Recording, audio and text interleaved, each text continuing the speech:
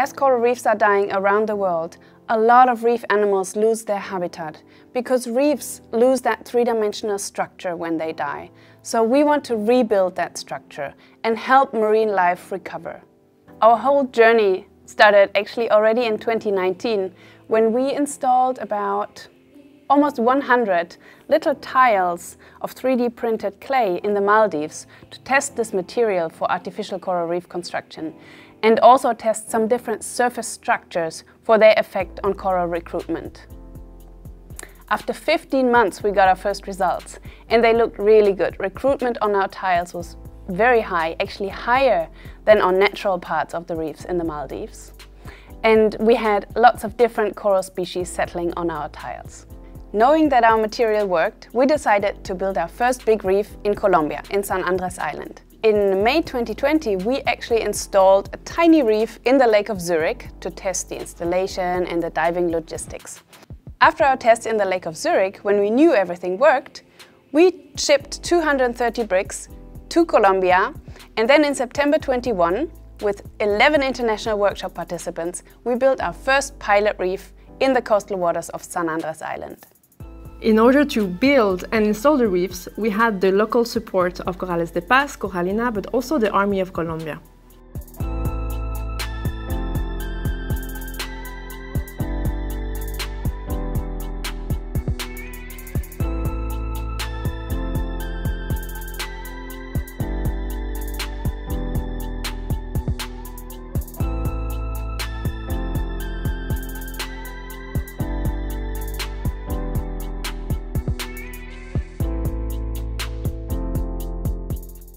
The bricks were supposed to arrive one month before our arrival. However, they came the exact day we were supposed to put them on the water.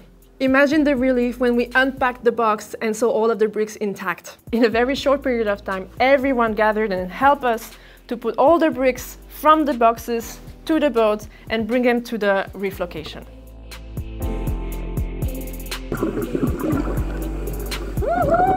In an amazing team effort, everyone build that reef together, layers by layers, bringing all the vision we had into reality.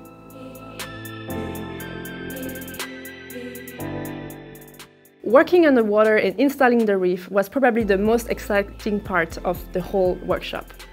But what was amazing too was to witness that small fishes were actually following us while we were building the reef.